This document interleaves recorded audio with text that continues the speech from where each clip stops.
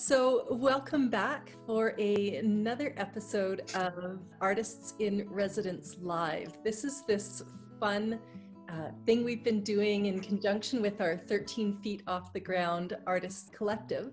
And what we've been doing is visiting with artists in their studios to see how they are uh, managing and how they're affected by what's going on in the world today.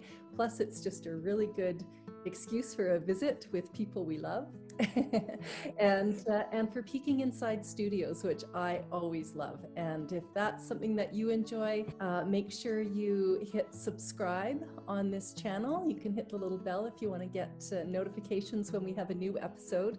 Today we are meeting with one of my 13 feet off the ground artist collective sisters rosemary burden. Rosemary thanks for making the time to meet today well, thank you, Carol. This is going to be fun, I think. Yay. One of the yeah.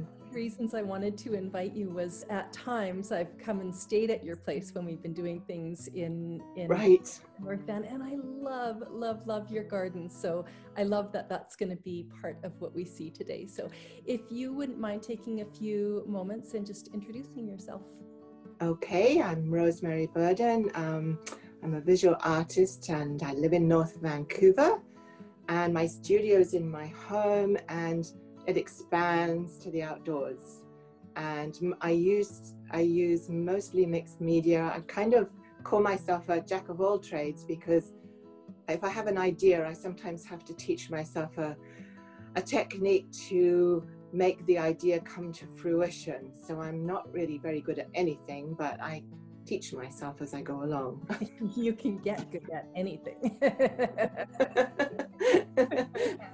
right on. Um, like I said, I just love your space, and that's going to be a fun part to get into. But uh, just uh, for those of you who are new to this, I'm Carol McQuaid. I am also an artist. I'm primarily a printmaker and painter, and you can see a little bit of my um, my printmaking loft behind us here. If you want to see more of it, you can go to the first episodes of this series, and you'll get the full tour. Um, so Rose, let's just dive in. I'm going to pull up the okay.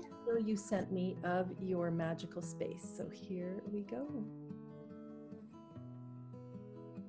Okay, that's um, some teapots that were in an installation out in Darts Hill Garden in Surrey last year. They had plants in them and now they've retired back to my garden. That's an old clay piece from 25 years ago when I first started back into making art. It's not very pretty, but he'll do. He's a reminder that you do get better, I think. There's a, a later piece of clay. I'm not working in clay now, but um, oh, and those cable spools are left over from an installation that was in uh, Abbotsford at the Reach Gallery in Abbotsford, now, now used as a potting table. and an outdoor space. I like to reuse everything if I possibly can. Those are my compost bins, which also become drawing tables when I need to be outside making a nasty mess. Another retired sculpture from a garbage thing we did. And that's my outdoor storage area for all the bits and bobs that don't need to be inside. Washing line and drying of stuff line. And now you're coming to the inside of the studio. More leftover cable spools. Bit grubby. They've been out with tomato plants on them all summer. and and this is my uh, major main work table inside with all my untidy crayons and bits and bobs on it. Some of my new um, new project that I'm working on have been for a couple of years. Um, and still more. There's my dad. He looks down on me from oh, keeps me in line and some more bits from my uh, latest project and uh, inside there's me sorry shouldn't have been there in, inside my cupboard i got my i'm in my son's old bedroom so it's not very big and all my wonderful books i love my books they're a great resource for me if i get stuck with anything i just look there and dive in and three hours later and come out. Nice. And uh, yeah, storage, paper storage of um, um, sketchbooks and on top of some drawers and there's a table my husband made when we first got married which we can't use anywhere but it's a great place for storing things on top of and underneath of and that's my uh, was my potting table outdoors and now is my indoor work table for the winter. Nice. so it's all kind of not tidy. It's all uh, everything has a two ways of being used. Like that potting table was um, very grubby so i had to clean it before i brought it in but it's nice to have a table and a window in the winter What are those on top of the table there? They look like little teeny tomatoes or something. they are there's a last in my tomato crop which has to be on a south window because they won't ripen otherwise Oh, no. we didn't have we didn't have very good sunshine this year so uh, Yeah. my tomatoes didn't never turned but they are turning now Nice. yeah they're they're okay So we're seeing your garden here in the fall, and uh, like I'm sitting here in my studio, I'm looking out the window, and it is dumping snow right now. oh my gosh We still have a little bit of fall, but let's go to your garden. When was this one shot? That's about the end of May, I believe. And I'm starting looking at the lions there in the distance. Nice. Lilac. This is the back garden. So Beautiful. yes. Each of these workspaces um, I use in the uh, when I need to for my artwork as well. There's the teapots. Yeah. I remember got- buying those when I came and stayed at your house. I love them. They just Yeah, they're quite fun. Yeah, they're very grubby now. So those are outdoor chairs. We can sit in the shade and and uh, this is the shady side of the house normally. Um, bit too much green there, eh? never too. not when- not at the moment. no. We just painted painted the shed, so uh, that's looking a lot better. yeah. And then we go down to the end um, where I started off with my video. You can see that it's an artist's garden. Like I look at that and I just want to invite myself over with my watercolor kit and sit and paint it all day long in all seasons. It must just be just so inspiring to have that space right outside your door. It's particularly lucky now, I think, during uh, during the pandemic to have an outdoor space that you can go into that's your own. And as you said, all year round, even in the winter, it's it's it gets a bit soggy underfoot, but it's really somewhere you can take a deep breath and just look at the bare trees in the winter and the full green leaf. I love the change of seasons. Yeah. Um, we're not getting as much fall color this year as we normally do. I feel very, very lucky to have that space. Very lucky. And I can't imagine what it would be like to be living in a basement suite or something like that. or an apartment with no balcony or Exactly. so are you finding like are you spending a lot more time at home than you would have been otherwise or what's your what's your day-to-day reality like with what's going on in the world Doesn't hasn't actually changed very much at all. Um, my studio's at home. It always has been. So I can come and go as I want to. I, I'm not somebody that can go in at nine and finish at four. I can come in at seven in the morning or 10 o'clock at night or whenever I feel like coming in. Um, that's when I come in. So I feel very fortunate to have that. So really nothing much has really changed for me. The only difference is that because we haven't done any traveling, we have um, we have a camper van that we like to take off and go to places, and we just haven't done that this year. I'm sure we will next year. But I mean, Carol, you know what that's like because you're a big traveler, yeah and it must have been awful not to be able to go anywhere. i would have thought that it would be awful and the the odd thing is i am so content in my space like Oh, that's wonderful. I never would. ha- I never would have foreseen that. But I'm, uh, you know, like inhabiting my house differently than than I had in the past. Even giving up, giving up having an external studio. It's, um, yeah, no. I mean, obviously, it's not a perfect situation, but. Uh, but there are parts of it that uh, that I, I feel like I'm nestling into my house the way you naturally have nestled into yours, and Because we've been uh, here for so long. Yeah, it turns out it was a smart thing to do. Who knew, right? Who knew? but, but yes, you have because you've you've made part of your a part of your place into a studio space, haven't you? Spe- Yeah, specifically. Yeah, I, I'm kind of using the whole house. Like I do a lot of my stuff downstairs on the big dining room table. Um, I've got my office downstairs that I'm doing some things in, and then uh, I've got my. I'll just twitch this over here. I've got my press up here in the loft, and uh, space to hang stuff. And so yeah, I'm I'm filtering. My husband keeps saying like I've got these four feet at the end of this end of the sofa, and this is mine. No matter what else you do, don't touch the spot. I know, right? Because I'm the same. At the moment, I'm reframing a whole bunch of different things, Yeah. uh, different artworks, and changing the art around the house just because we're here and it's nice to. We've painted the inside of the house, two two more rooms, and so I'm moving artwork around and reframing stuff, and and I've got the whole of the dining table. Half of the sideboard in the kit in the dining room is now full of artwork and books and bits and bobs and I've got a whole cabinet set up for my beading supplies so I know what you mean. Yeah, you yeah. just don't don't touch anything because it might fall over and explode beads and paper everywhere so. And it would be a beautiful explosion. it would be. It would be. Noisy when you vacuum them up too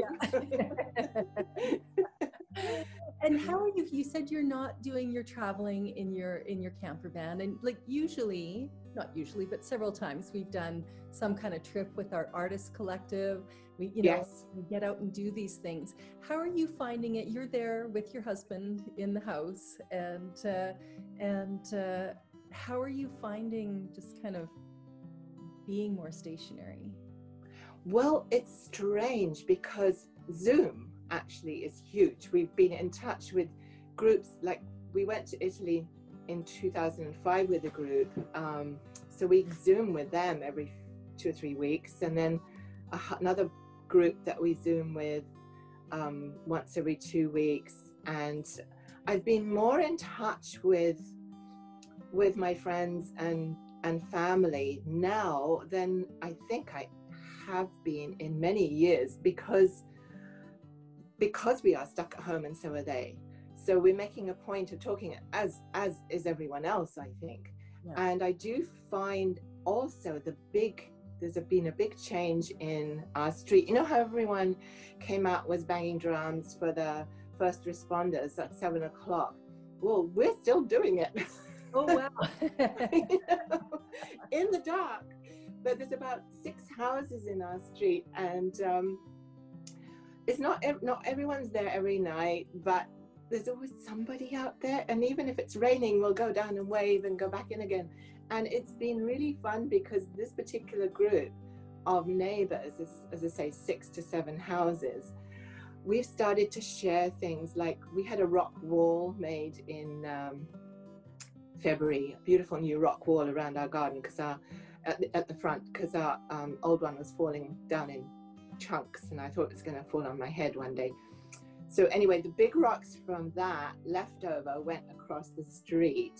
So she, uh, she has a um, Jen has a kind of a a flat rock area where she has plants coming through. So she has now has smaller rocks and bigger rocks. And it looks really beautiful.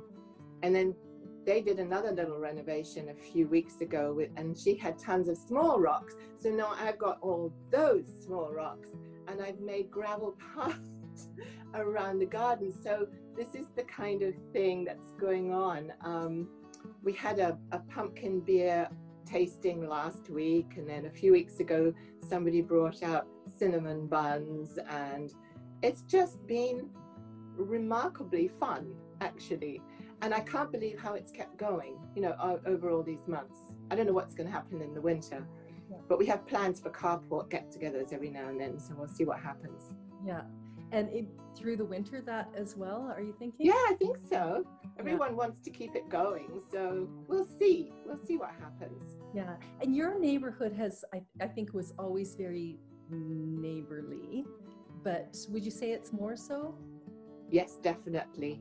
Yeah. Definitely more so. And um, a lot of our neighbors, I mean, there's three or four lots of our neighbors who've been here over 50 years. We've been here 35. Um, some people just a few few years, but it I don't know whether it's the street itself. We've got a, quite a wide road, so it's easy to to meet on the road without being run over. It's not a it is a through street, but it's not a major throughway. So you know, there's the two kids across the street. They come out and play, and the and the young boy comes out every now and then and plays us his uh, saxophone. Oh, oh, he's lovely. Yeah. He learned Oh Canada for July the 1st, and uh, they're originally from Australia, so it's quite fun to watch their development and their accents changing as they become more Canadian. And it's, it's, it's lovely. I, I'm just really enjoying that part of it. Yeah. And I don't think that would have happened if we hadn't had lockdown, you know? I was in a music store the other day. Um, yes. my car collection. and I asked them how business has been, and he said it like music in musical instruments, it's mm-hmm. booming because everybody is like, well, I'm home now. I mean, I've always wanted to learn how to play the guitar or saxophone or yes. whatever. I wonder if that's happening with artists as well, like people who who wouldn't necessarily put artist on their business card, but if people are taking more time to be creative and and uh, and get the kind of tools and or play with the toys they have, you know, it's. Uh, I think so. I think so because you do tend to look around you and think, oh, yeah, I haven't used that. Let's try using that. Yeah. yeah. I mean, I've been grabbing all my old crayons and going through everything and seeing what works and chucking out the pens that don't work. And I think that um, because we're contained, I think I think people are doing that. And of course, there's lots of things like your YouTube videos online are wonderful. I just sent one of yours out to all my other friends and had a reply back today to say that your latest one on printmaking was so useful. She's gone right ahead and used it. So oh, awesome! That's so nice to hear. Yeah, you. yeah. So that's yeah. So I mean, this is the sort of thing I think. I mean, it's a huge world, but it's it's compressed into our. Thank God for videos and thank God for um, social media, which I know has a dark side, but it also has an amazing light side to it as well. Yeah. And I think people are, I mean, I've got another friend who's making books. She works from home. So she's been making beautiful books.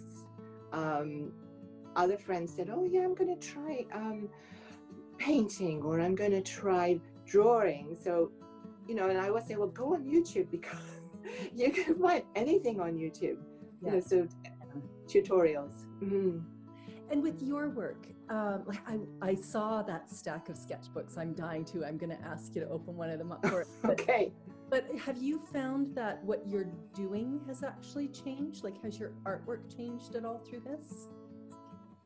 Mm, no, I'm quite surprised because I am going back into my sketchbooks because I'm in the room more than I used to be. And I go back into my sketchbooks and it's amazing. I don't know whether it's my age or what it is, but I seem to be doing the same thing more or less as I was doing 15, 20 years ago. And I've gone back into my sketchbooks and I read things I've written and I think, oh, nothing changes. But maybe that doesn't matter. maybe that doesn't matter. So I find well, about three years ago, just after we all went to um, Italy, I was in another residency up at Coppermoss, up at Sechelt, and that was a week. And we were very, it was very quiet, very beautiful place. And I started to think, you know, I've got to start um, not going out and buying things, not going out and and oh look at being like a magpie because I'm a magpie. I like anything shiny and glitzy. I'm like, ooh, I want that. And new pens and you know things. I thought i've got to use everything i've got. So i started doing that about three years ago and i've kept it going. So um, from that point of view nothing's changing. I think some of my images are changing but not not really no. Yeah. what about you? Um hmm. yeah i would say my work is changing a bit. I have these pieces on the drying rack behind me here that are kind of politically motivated. Oh, I love those. they were in your YouTube tutorial. No, they were, were, they? Uh, no, they came right no, after were. that. Uh, the the okay. the placemats that are that are well, that's right. That was that's right. Um, but no, those are uh, those are a little bit political. And then I think maybe what's changing a little bit is I took a big hiatus from working uh, on artwork, and now I'm doing it again. Uh, and uh, I've also in the um, in with what's been happening, I've been doing a lot more reading because I've been spending more time at home, long dog walks with Audible, um, and that's making its way into the work. And uh, I'm just right now um, based on Ruth Bader Ginsburg. And my book club is reading Ruth Bader Ginsburg, whatever. It's a freestyle month. Read whatever Ruth Bader Ginsburg you like. And uh, and so I've been reading a couple of books based on on her life and uh, so that's coming out in my next piece. And i yeah so i would say my work is changing a little bit because it was always very travel oriented and experiencing new places kind of how people live in them oriented. And now that i'm uh, a little more stationary yeah i think my my focus has changed. Can we see inside yeah. sketchbooks? Yeah yeah I remember the Actually, last time I was in your house, you opened up a drawer full of drawings, and I just fell in love with them. And and uh, now I have one thanks to you. So oh, that's right. I'm dying to see what else you have. the doodle, yeah. Well, this I've got it. It's an old sketchbook from um, when we went to Italy, actually. And I, because I was, I always have to have a book where I write down my ideas and stuff you know, when we went to the meetings and everything, and there's, I don't know if you can see that, but. Oh, yes. Yeah. Remember that? 13 feet off the ground. yeah. so, yeah, so I've got, um, write down little things that I'm told and, or that I've heard sometimes. And I've got here a piece which I think is really actually very sad. Karen says our neighbors who own the flat we are living in are Paolo and Petrina, and their son Gregorio, their older son, was crushed by a stone wall. He was a sculptor. So I know. Also across the street, Franco and Maria. Franco is a shepherd and a basket maker. How, I mean, how wonderful is that? A shepherd and a basket maker. But two our, little, like, our little apartment in Graniti in Sicily. Yes. Yeah. Yeah. Oh. Yeah. So little things like that I tend to write in my sketchbooks. And um, here's a really old sketchbook from first year at art school. Yeah. And it's just crazy because I had to do a, um, I mean, this, this is all over the place. I had to do a, a project on a nursery rhyme so I did the princess and the pea. I don't know if you can see that. Oh, love it. love it. it's all cut out paper, right? Yeah. And um, yeah, so there's all, and then doodles everywhere. Yeah. Um,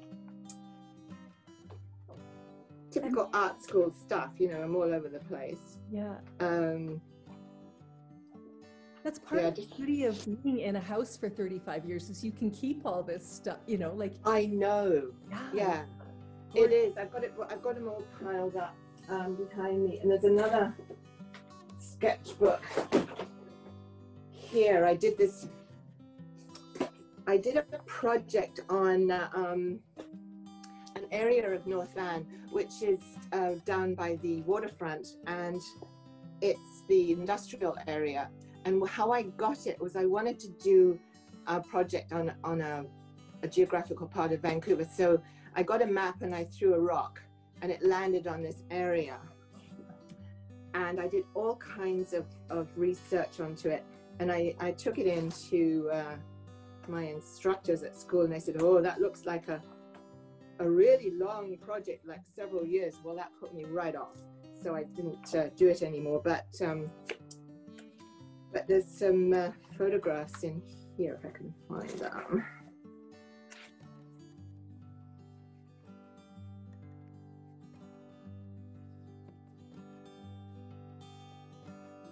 This was one area that was, and I just did a bit of a collagey thing. I don't know if you can see oh, that. Yeah. And then the front of it is, uh, I don't know if you can see that as well. Yeah. It's the uh, the grain building down at the waterfront. So my yeah, my sketchbooks are full of everything, like ideas and photographs, doodles, um, parts of essays that I'm trying to work out, but I have to do it by hand because I don't want to write it on my computer and then lose it or something. This was back in 15, 15 years ago. Um, I, I find I go back to them all the time. And when I do go back to them, I find that not, not as I said before, not much has changed. It's um, I'm still thinking the same way, but I guess the work is changing a little bit. Yeah. Well, I look at that, and that reminds me of what you did when we were in Sicily together. So, just to set the stage, we're all staying in this beautiful little town, and there's 12 of us, and 11 of us are, are out painting on walls. And you took this amazing parcel of, uh, um, what would the word be? Uh, not disregarded, but uh, it was a garbage dump. It was a garbage dump. I was looking for something poetic, but you're spot on. and you took that piece of land and you transformed it into something magical. And uh, you know, I look at your art, your yard, and I look at your notes, and and uh, all of it kind of weaves together. And uh, yeah, you just have this magical way of of uh, tinkering with space and things and elements and assembling and uh, i love it it's beautiful to see and yeah thank you. Yeah i, I love working outside. I, that's one of my favorite things if i can take my work outside. Um, we were supposed to do a, a show at darts hill garden again this year and um, it was cancelled of course because of covid but i think it's going to happen next year. And i made a i did a poem in beading so I translate the I translate the English into binary. So each letter is like eight bits long. So I convert that into beads. I might have them here somewhere. And so I get these long glittering strands, which is actually a, um, a code. It's coded poetry, and I'm hoping that they'll will do that again this year because, and it because it, it should hang from a tree and then just shimmer so because I love hanging them outside. The, the last time I did beading, it was in a gallery, but I think they look much better outside. Yeah. So yeah. Upcoming shows are more likely to be outside, I would say. and do you have any shows that are still happening moving forward, or what's uh, what is your lineup moving forward look like right now?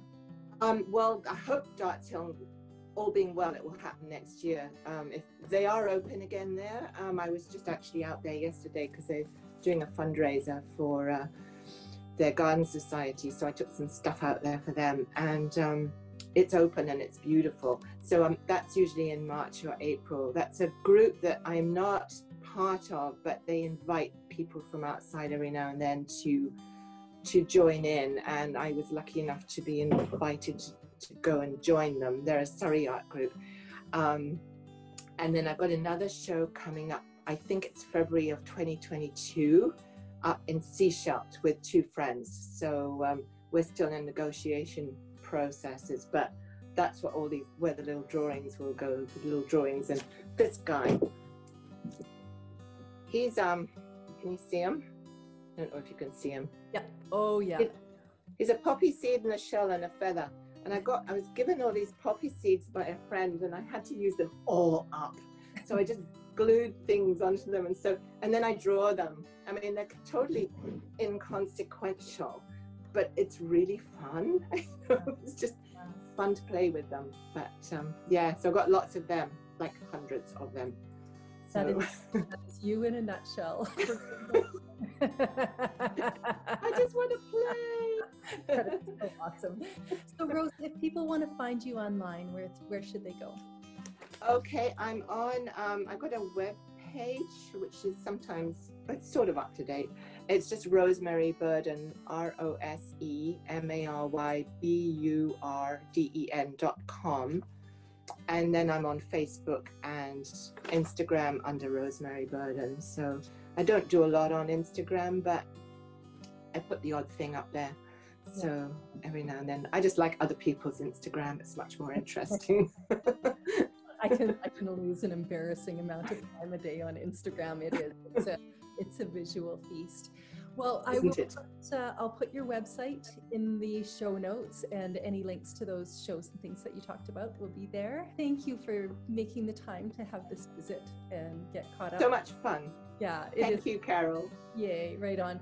And for those of you watching, uh, like I said, if you enjoy these kind of studio tours and visits, don't forget to hit the subscribe button and uh, the notification button. And we'll be back soon with more studio tours. And uh, yeah, Rose, uh, really loved being able to see your garden from my snowy loft. So thank you. Go make a snowman, Carol. I will. Okay. Bye. Bye.